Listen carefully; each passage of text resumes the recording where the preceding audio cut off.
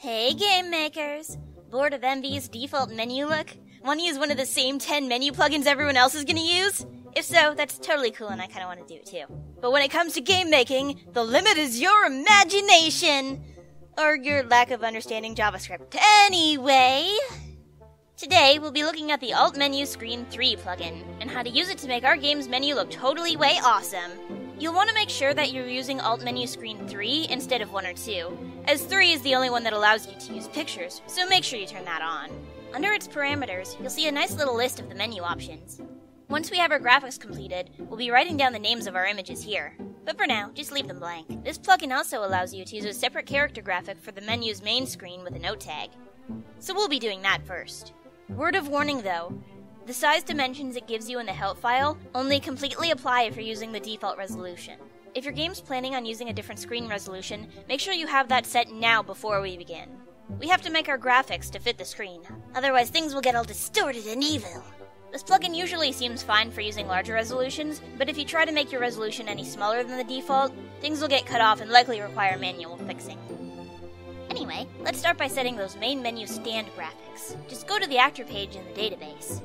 Under Note, you'll want to type in stand underscore picture and the name of the character's graphic you'll be using. This will call the graphic from your projects folder slash image slash pictures.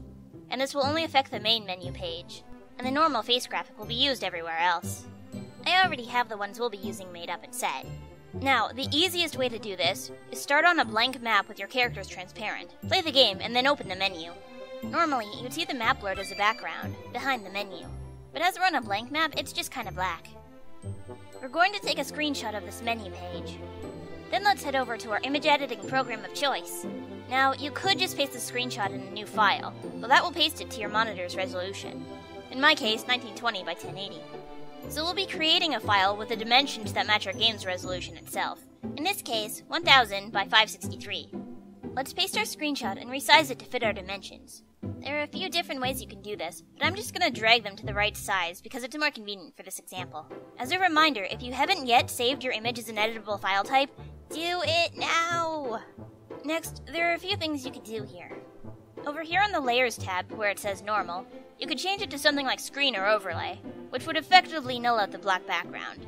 Alternatively, you can also just remove the black background with the Magic Eraser tool, which is what we're going to be doing. It doesn't need to be perfect. This is just here to give us an idea of where things are on the layout. Now we get to actually creating the menu graphic. You want the screenshot as an overlay above the menu you create. Do not try and make your menu graphic on the same layer as the screenshot. That would be bad. As for what to make your menu look like, it's completely up to you. Within the confines of this layout, that is. For this example, I'm kinda going for a sky theme, but you could do a specific style, maybe go for a retro look, or even just throw an image into the background. It's really up to you. Just do whatever you think is awesome. When you're satisfied with the look, hide the original screenshot layer. Go to Save As and save it as a .png. We're just gonna call this page Menu, and make sure it's saving into your Game Pictures folder. Now, for our game, head back to Plugins, and Alt Menu Screen 3. In the plugin details beside BG Bitmap Menu, double click it and type in the name of your menu graphic. In our case, Menu. Now click all the OKs and let's test this out.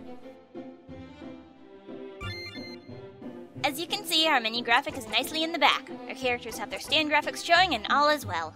Now just item, skill, equipped, status, options, save, and end game left to go! The same process applies to all of them. Just screen cap, resize, and create, hide the screenshot layer, and save as the page name. If you'd like to keep the same style for all of your graphics, I'd recommend setting each page's layers up in a folder on your editable file, then duplicating it so you can still use all the backgrounds from the previous page in the new one.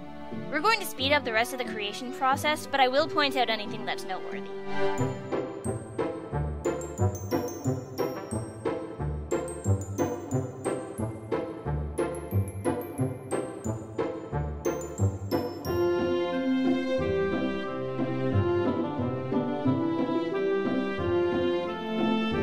Notice on our equip page, our stats get quite cut off at the bottom. That's only because this game's resolution is set to a smaller height than the default. This means I'll likely have to go into some code and figure out how to modify it, or make my resolution, uh, taller?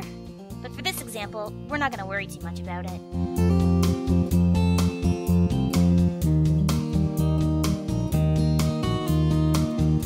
You can also add text if you say, wish to have the words name, class, and nickname on the top of the status screen. Alright, with our menu graphics made, let's go back to our plugins list and add them to Alt Menu Screen 3. And now, let's go check out our super cool, more or less okay menu!